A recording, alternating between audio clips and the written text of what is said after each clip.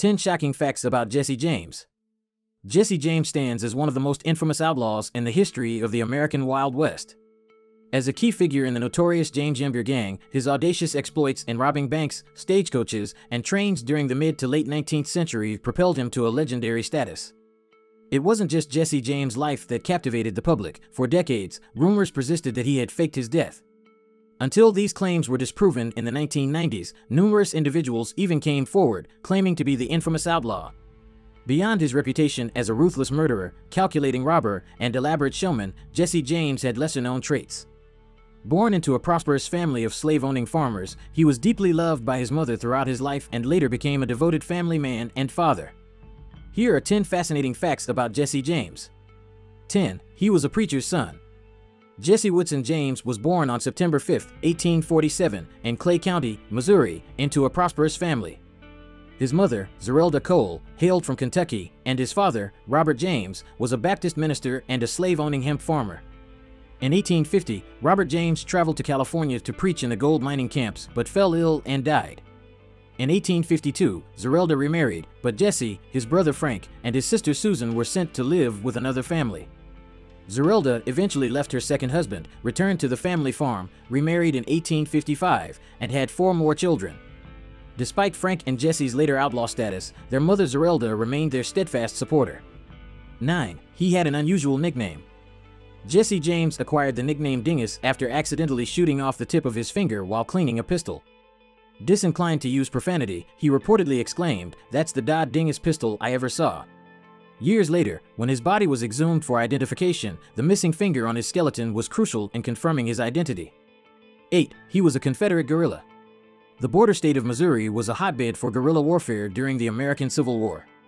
As staunch Confederates, Jesse and his family supported the Southern cause, in 1864, Jesse and his brother Frank joined the group of Confederate guerrillas led by Bloody Bill Anderson, also known as Bushwhackers. This group was infamous for its ruthless and brutal actions against Union soldiers.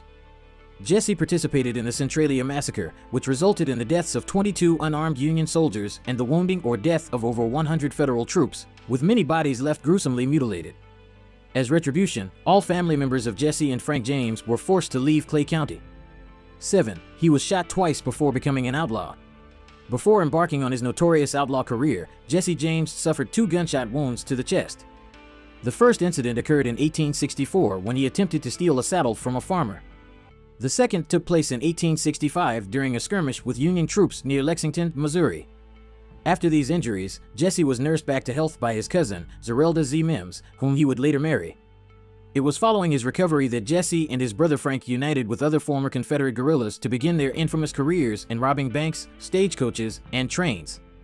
6. He wasn't exactly a Wild West Robin Hood. Jesse James, as a prominent and infamous member of the James Younger gang, became a legendary figure in the lore of the American West. Although popular portrayals often depict him as a Robin Hood figure who robbed the rich to give to the poor, there is no evidence that the gang ever shared their loot with anyone else. Between 1860 and 1862, the gang was implicated in more than 20 bank and train robberies, numerous murders, and the theft of approximately $200,000. After the American Civil War, thousands of African Americans moved west to the frontier, seeking freedom and an escape from prejudice.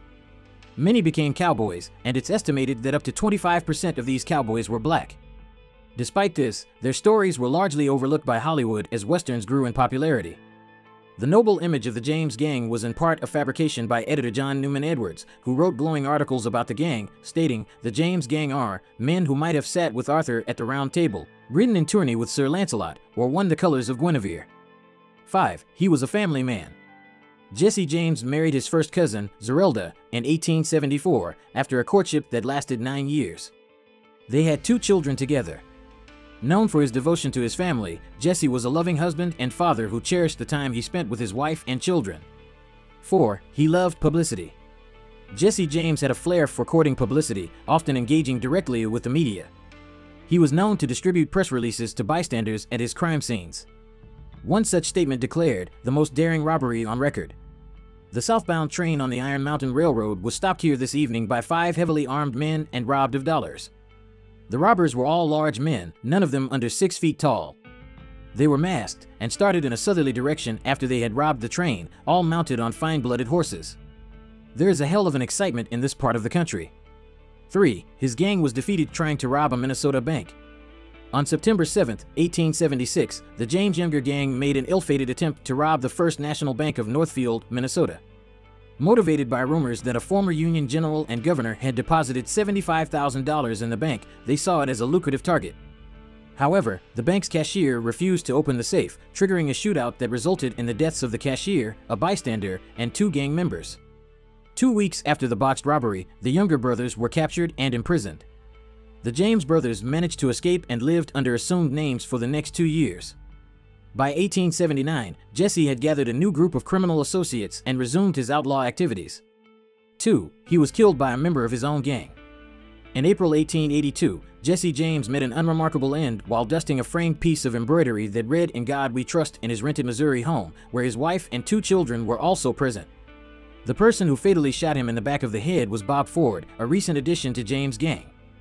Ford had made an agreement with the governor of Missouri to assassinate James in exchange for a reward and legal immunity. A contemporary woodcut depicts the moment Robert Ford infamously shot Jesse James from behind as he was hanging a picture, with Ford's brother Charles witnessing the act. The woodcut dates from between 1882 and 1892. The assassination captivated the public, who largely viewed it as a cowardly act since James was shot from behind. Despite this, the Fords later capitalized on the event by reenacting it in a traveling show. Bob Ford himself was killed in 1894. 1. His body was later exhumed. Jesse James was initially buried on the James family farm. However, rumors soon circulated that he had faked his own death, leading several individuals over the years to claim they were Jesse James. In 1995, in response to these persistent rumors, scientists exhumed what were believed to be his remains from M.T. Olivet Cemetery in Kearney, Missouri, where they had been reinterred in 1902. DNA tests were conducted on the remains, and researchers confirmed that they almost certainly belonged to the notorious 19th century outlaw. Conclusion As we've explored the life of Jesse James, it's clear that his legacy is a complex blend of fact and fiction, myth and reality. From his early days as a preacher's son to his rise as a notorious outlaw, Jesse James captured the imagination of the American public and left an indelible mark on history. His life was a series of daring escapades, ruthless actions, and deep personal connections. While often romanticized as a Wild West Robin Hood, the truth reveals a man driven by vengeance, loyalty to his cause, and a flair for the dramatic. Jesse James remains a symbol of the tumultuous times in post-Civil War America, embodying the spirit of rebellion and the allure of the outlaw. Thank you for joining us on this journey through the life of Jesse James. If you enjoyed this video, make sure to like, comment, and subscribe for more fascinating historical insights. And let us know in the comments which part of Jesse James' story surprised you the most. Until next time, keep exploring the past to understand our present.